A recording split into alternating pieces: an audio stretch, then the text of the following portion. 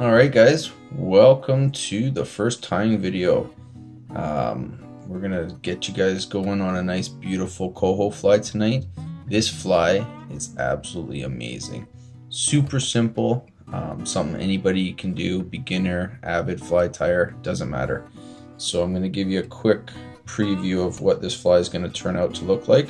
And here it is. So looks a little straggly right now, but oh my goodness, once this sucker gets wet, absolutely gorgeous. And uh, three, three materials, actually two materials and a bead. How much easier can it get? Okay, so here we go. First thing we're gonna use is a TMC 3761 size 6 nymph hook. Love these hooks. These hooks are amazing. And uh, super important, make sure you clamp that barb down. This is a sport, not a meat market. So don't forget that, guys. Second, we got a 532nd copper bead. Um, beautiful beads, work amazing with the coho. So slide that bad boy on, lock it in the vise, and let's get started. So for thread, we're gonna use a 6-aught olive dun a um, little bit stronger than the 8-aught. We are fighting salmon here, so you need a little bit of strength. I like to wrap my finger around it a couple times, just so that once you lock it down, give it a quick pull and break that piece off.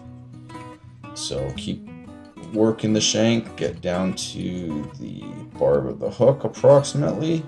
Doesn't have to be perfect, but uh, somewhere down there works great.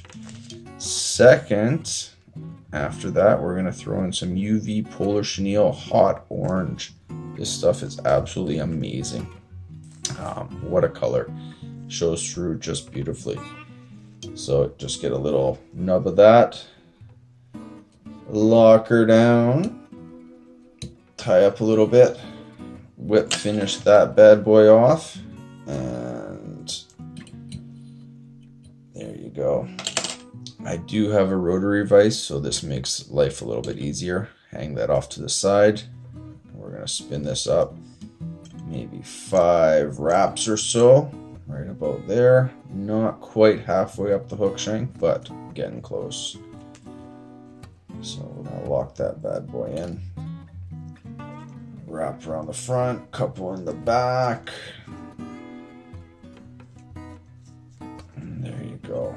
In place. Snip that off. There we go. Step one, complete. Couple thread wraps over top just to make sure that's locked in. All right, the last material we're using, dyed UV polar chenille in olive. This is a long chenille. Uh, you can see the little bits of purple in there. Absolutely love this stuff. Um, I've been using it throughout the season and I've had incredible luck.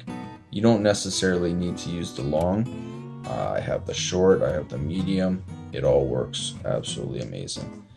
So we're gonna lock that piece in. Wrap up to the front and whip finish a couple times get that thread out of the way. Oh, something I forgot to mention is if you notice, I keep the material in the bag when I'm tying it. Um, this just eliminates all waste. So, you know, I know it's not super expensive stuff, but why waste it if you don't have to?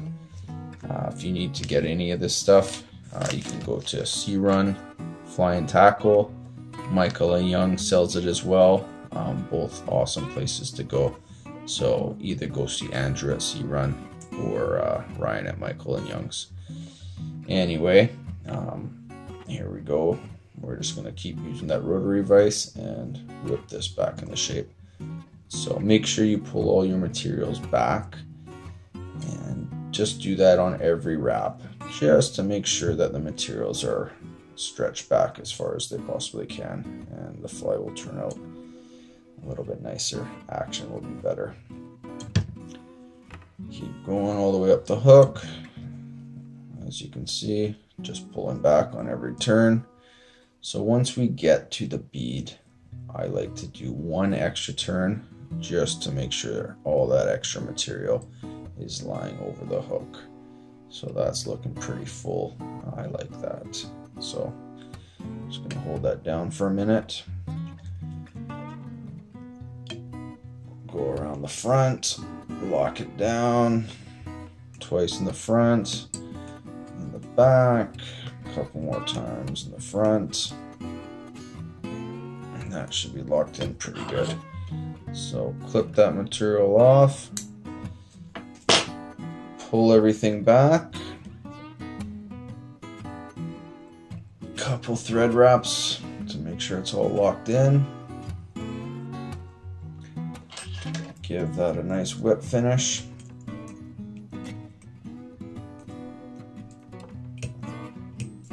Beauty, and that's pretty much it. I always do two just to make sure this bad boy can last. I love giving these out to my friends and I want them to know that when they get a fly from me, it's quality.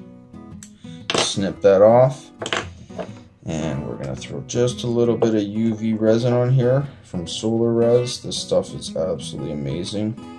Solarez, if you ever wanna send me some UV cure, I will use it, I guarantee it. Love this stuff. So pull the materials back, throw a little bit on the thread wraps there, Nothing too major. Try not to get it on the material. One more little dip. There you go. That's it. Let that soak in for just a second. Whip out the torch. Blast it. Should take about two seconds. Couple rotations. And bada bing, bada boom. We are done. So that is the final product.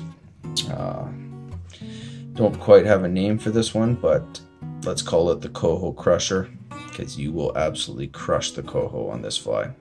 Give it a shot. If you like it, let me know. Um, subscribe to GT11. Awesome place to uh, get tips, attractions, all that cool stuff. All right. Thanks for watching. Tune in next time and uh, good luck. Tight loops. Have fun. Thank you.